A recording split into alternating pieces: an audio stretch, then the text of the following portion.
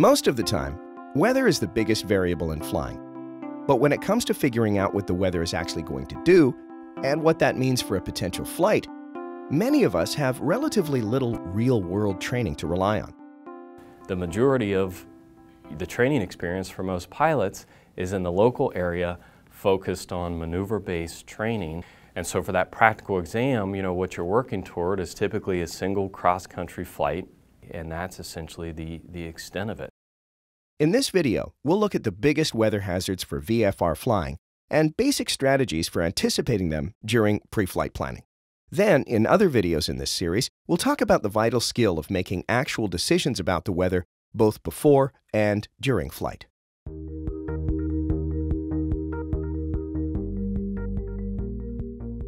The most obvious weather hazards for VFR pilots are the things that keep you from seeing clouds, mist, fog, and precipitation. The first thing to remember when thinking about the practical limits of VFR flying is that the weather minimums truly are minimums.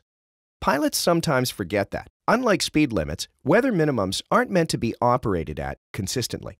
You know, if you're looking and it's, it's forecasting, you know, four or five miles visibility sure, yes, that's legal to fly VFR, but you know, how, how comfortable are you flying in weather like that? If all of your flight training was done in you know, seven miles, 10 miles, more than 10 miles visibility, you don't really have a way of knowing what your visibility is going to look like until you get up there and actually see it. A lot of VFR pilots would be shocked at how little and disorienting even three miles of visibility can be. Of course, even non-aviation forecasts will tell you if you're likely to experience such conditions. But a good basic grasp of aviation weather really helps build an understanding of the big picture. Let's look at some of the most important elements. Water vapor is the root of most weather problems, and the origin of the air mass you'll be flying through can give you an idea how much water it's carrying. If the air mass recently passed over a large body of water, it's probably pretty wet. In contrast, if it came a long distance over land, it's probably pretty dry. Fronts are another big picture indicator. Any frontal system can bring dangerous weather, but a warm front carries a much greater likelihood of low ceilings and visibilities, often for several days at a time. Then there's atmospheric pressure. High pressure typically means good weather, while low pressure brings a much greater likelihood of precipitation and reduced visibility. When looking at local conditions, a good way to gain insight into ceilings and visibility is to watch the temperature dew point spread. The closer those two numbers are, the more likely you are to see precipitation, mist, and or low clouds. For VFR pilots, the tipping point is roughly a 3 degree spread. If you see the numbers 5 degrees apart and closing over a series of METARs, be cautious. Finally, remember that there are visibility limiting factors other than just clouds or precipitation. Moonless or overcast nights, unlit terrain, haze, and smoke can all, either individually or in combination, be very dangerous for unprepared VFR pilots. The absence of a vis you know, visible horizon and back to the John F. Kennedy Jr. accident out over kind of a dark, moonless night uh, without much outside reference, even though the visibility was perfectly acceptable and legal. Um, he experienced certainly a very disorienting uh, condition.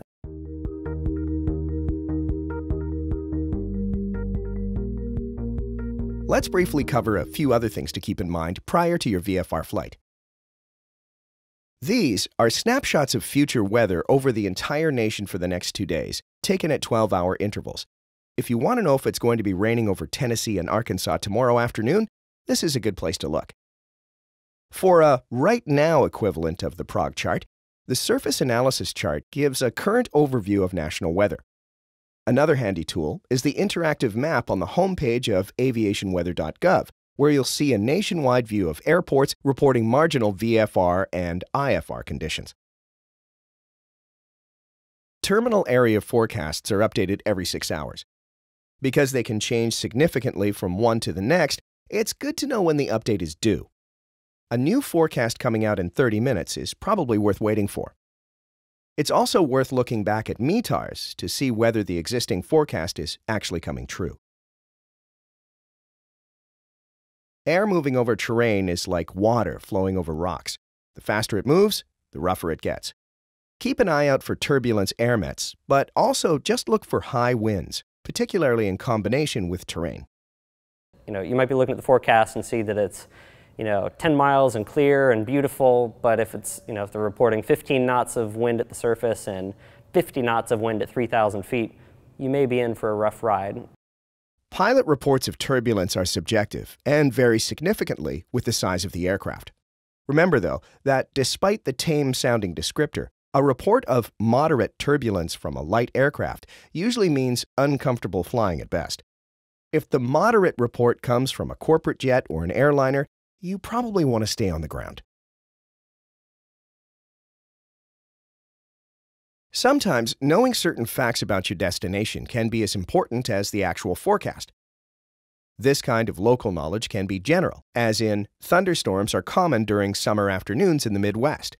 Or it can be quite specific, as in, the Omaha airport sits in a river valley and often fogs up overnight. It can be very valuable to gain some of that local knowledge, which can be had with a quick call to flight service, who has regional specialists who are trained experts in that field and can talk to you in very specific detail about you know the conditions you're going to experience.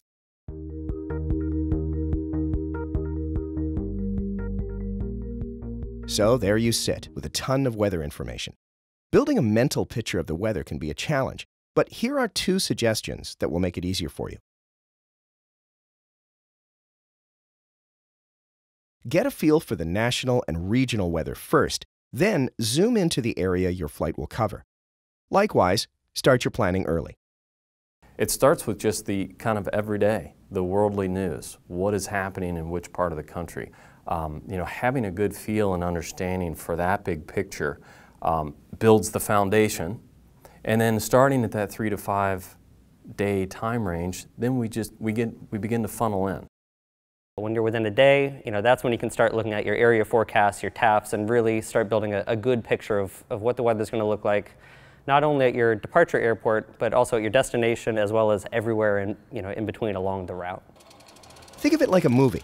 If you've watched from the beginning, rather than jumping in halfway through, it's a lot easier to see where the plot is headed. As with most things, the more time you spend thinking about weather, the easier it will become to understand. Start to pay attention to how these weather patterns develop. Start looking at forecasts even on days when you're not going to the airport and not flying. If the iPad is in your hand every morning, find a go-to weather source on that iPad, whatever that might be, whatever you're most likely to do. Take a look at what the forecasts are saying three to five days in advance, and then see how that translates to real-time observations. And you know, that all kind of gets banked that all kind of gets that, that gets banked in that experience bucket whether you're actually whether you're actually flying or not.